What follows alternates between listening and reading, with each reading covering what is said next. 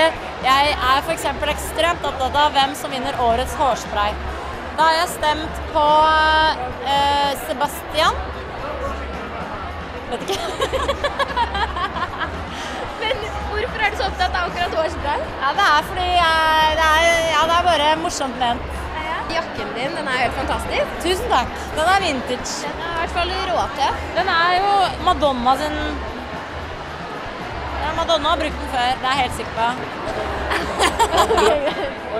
Atle, har du noen forventninger til kvelden som kommer nå? Eh, Jeg tror det blir eh, hyggelig og koselig. Masse kjentfolk, og jeg skal jo faktisk dele ut pris òg. Hvilken pris skal du dele ut? eh, årets hårpleieserie. Gratulerer med årets designere. Var du en din? Ja, norske designere, da. merkelig. Vi har utvidet en del nå, men vi kommer til å lage en, eh, en liten kollisjon med full kollisjon til både dame og herre.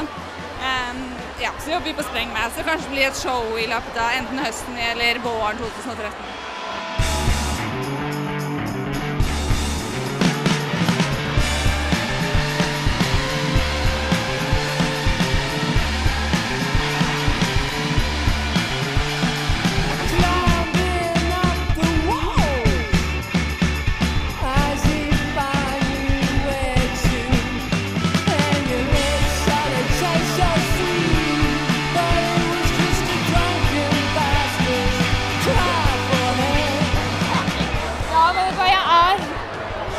så satt ut. Jeg var ikke forberedt på det her i det hele tatt.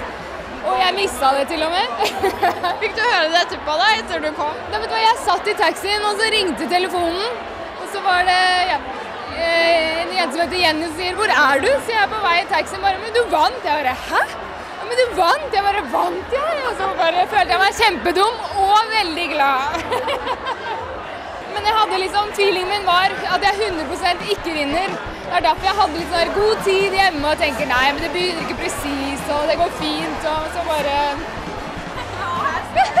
Så vant jeg den.